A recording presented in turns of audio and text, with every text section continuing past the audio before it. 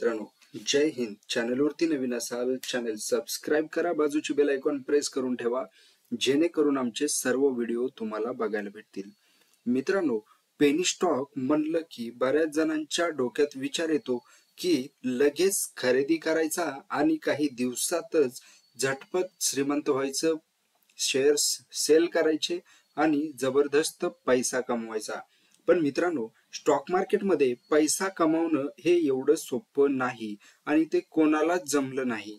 त्यासाठी मित्रांनो अभ्यास आणि संयम पेशन्स या गोष्टीची गरज असते.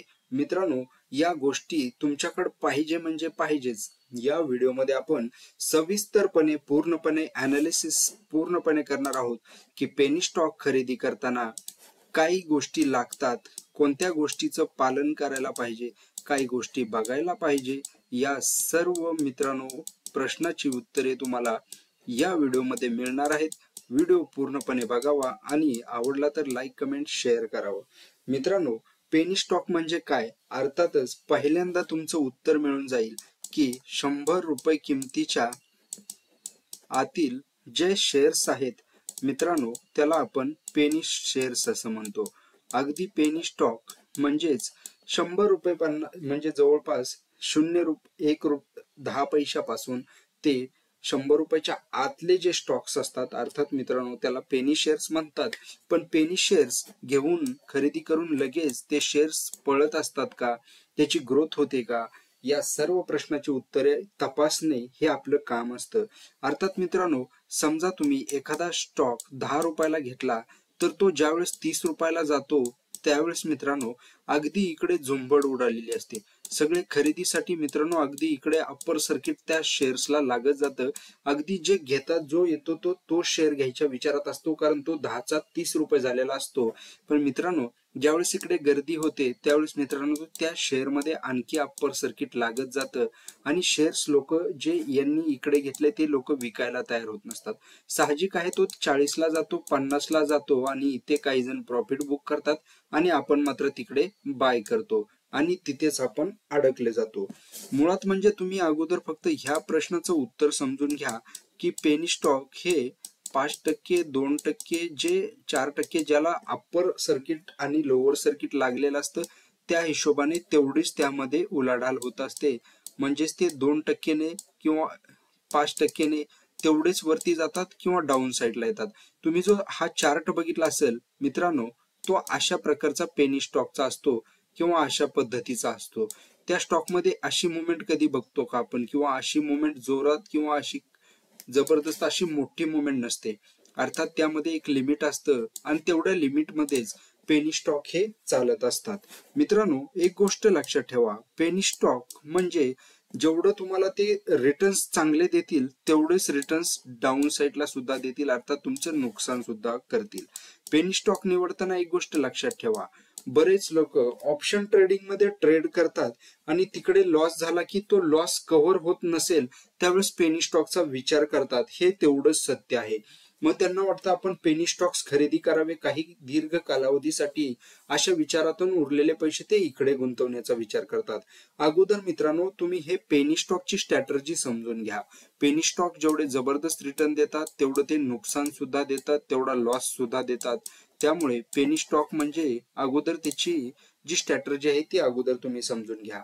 पेनी स्टॉक मित्रांनो जेवढे त्यामध्ये तुम्ही पैसे गुंतवाल तेवढं तुमचं नुकसान सुद्धा जास्त होण्याची शक्यता असते. कारण रिस्क एवढी असते की हाय रिस्क आणि लो रिटर्न असते मित्रांनो यामध्ये चान्सेस जे रिटर्न्स मिळण्याची संधी. अर्थात मित्रांनो शंभर पेनी स्टॉक असतील तर त्यातले फक्त चार चारच पेनी स्टॉक हे ग्रोथ करणारे असतात. हे अगोदर समजून घ्या. मग शंभर पैकी कोणते चार स्टॉक निवडणार तुम्ही? हा मेन प्रश्न आहे. त्या कंपनीची स्थिती तपासावी. कंपनी डबघाईला आलेली आहे का?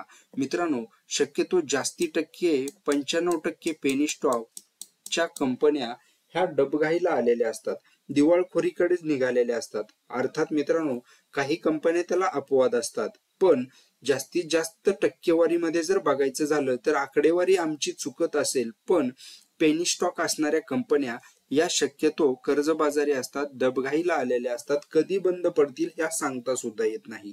दुसरं म्हणजे पेनी स्टॉक निवडताना त्या कंपनीचा प्रोडक्शन काय आहे? कंपनीचा सेल्स वाढत चालला आहे की कंपनीचा फक्त चार्ट ऑपरेटर पळवत आहे? कारण मित्रांनो काहीही उलाढाल नसताना काही स्टॉकचे चार्ट हे वरती जायलेले असतात आणि आपण काहीही न बघतो आणि तो चार्ट बघून फक्त स्टॉक खरेदी करतो. मुळातच मित्रांनो कंपनीच्या काही काय काय चेक करायला पाहिजे? जर समजा आपण एखाद्या कंपनीचा जर चार्ट बघितला आणि त्या कंपनीमधून काय हे करायचं आहे? आता उदाहरणार्थ आपण जर एखादी कंपनी चूज केली आपण फक्त उदाहरणासाठी आपण एक कंपनी चूज करत आहोत आणि हा सुद्धा एक पेनी स्टॉक आहे. अर्थात मित्रांनो हा स्टॉक आहे आय आर एफ सीचा आपण फक्त उदाहरणासाठी स्टडीसाठी आपण अभ्यास करत आहोत. आता हा स्टॉक बघा जबरदस्त कसा पळालेला आहे. दोन हजार बावीस ऑक्टोबर दोन हजार बावीसपासून हा स्टॉक एवढा वरती आला. त्यानंतर तुम्ही यावरून एक अंदाज लावू शकता. आता कंपनी काय करते? तर बघू शकता कंपनीची ग्रोथ इकडे कंपनी काय करते? फायनान्शियल वरती काम करणारी कंपनी आहे. त्यामध्ये अनालिसिस्ट काय सांगत आहेत? तसंच त्या कंपनीची आकडेवारी कशी आहे? कंपनी प्रॉफिटमध्ये आहे की नाही? कंपनीचा रेव्हेन्यू किती आहे? कंपनीचं नेट इन्कम किती आहे? डिव्हिडंड कंपनी देते का? त्या कंपनीमध्ये प्रमोटरचं होल्डिंग आहे का? कंपनी डबघाईला आली का? कंपनी रिटर्न्स चांगले देते का? या सर्व गोष्टी बघणं गरजेचं आहे. कंपनीमध्ये कोणाकोणाचं होल्डिंग आहे? जसं की तुम्ही बघू शकता कंपनीमध्ये कोणाकोणाचं होल्डिंग आहे? काही पेनी स्टॉक असे असतात ज्यामध्ये कोणाचं इकडे होल्डिंग नसतं आणि ते स्टॉक फक्त पळत असतात. त्यामुळे मित्रांनो या गोष्टीचं तुम्ही नक्कीच बारकाईनं अभ्यास करा. फक्त तुमच्या डोक्यात जर प्रॉफिट कमवायचा असेल आणि पेनी शेअर्स मधून तर तो तुम्हाला मित्रांनो इकडे फक्त झिरो पॉईंट झिरो एक टक्के चान्स असतो आणि नव्याण्णव पॉईंट नव्याण्णव टक्के इकडे लॉस होण्याची भीती असते. कारण तुम्ही पेनी स्टॉकचा विचार तेव्हाच करता ज्यावेळेस तुम्ही ऑलरेडी अगोदर तुमचं कॅपिटल कुठेतरी गमावून बसलेले असता. आणि बरेच जण मित्रांनो जे हुशार इन्व्हेस्टर्स असतात ते शोधून शोधून पेनी स्टॉक निवडतात. त्यामुळे काही गोष्टी पेनी स्टॉक निवडताना नक्कीच तुम्ही काळजी घ्यायला पाहिजे. कारण आपण जर बघितलं तर आपण समजा एखादी वस्तू बाजारामध्ये घ्यायला जातो त्यावेळेस त्या वस्तूमध्ये आपण काय काय चेक करतो? तर मित्रांनो एखादी वस्तू आहे तर त्या कंपनी त्या वस्तूला ती काही मान्यता आहे की नाही? किंवा ते रेट आहे तो तोच रेट आहे का? कंपनीचं म्हणजे कुठे बनते? त्याची एक्सपायरी डेट काय आहे? या गोष्टी जसं आपण बाजारामध्ये बघतो साधा आपण मित्रांनो एखादी कोथिंबीरची गड्डी जर विकत घ्यायला मंडईमध्ये गेलो तर दहा रुपयाची एक गड्डी घेताना मित्रांनो आपण दहा वेळा विचार करतो आणि सर्वात चांगली गड्डी कुठे मिळते हे सुद्धा आपण बघतो. मग स्टॉक निवडताना तो हलगर्जीपणा आपण इकडे मार्केटमध्ये दाखवावा का? अर्थात मित्रांनो कष्टाचा पैसा असतो. अर्थात तुमचं उत्तर आहे नाही. कारण कष्टाचा पैसा आहे तर आपण इकडे असं सहजासहजी गुंतवायचा नसतो हे सगळ्यांचं उत्तर येईल. एक गोष्ट लक्षात ठेवा. पेनी स्टॉकमध्ये ज्या ज्या वेळेस तुम्ही गुंतवणुकीचा विचार करत असाल त्यावेळेस नेहमी एक लक्षात ठेवा की कर्ज काढून कधीही गुंतवणूक करू नका. तुमच्या फायनान्शियल ऍडवायझरचा सल्ला घ्या स्वतः सुद्धा रिसर्च करा अभ्यास करा मगच गुंतवणूक करा. मित्रांनो पेनी स्टॉकमध्ये कुठल्याही गुंतवणूक करत असाल तर तो कमीत कमी पाच वर्ष दहा वर्ष पंधरा वर्ष अशा कालावधीमध्ये टाका. कारण पेनी स्टॉकला ग्रोथ होताना मित्रांनो बरीच वर्षे लागत असतात.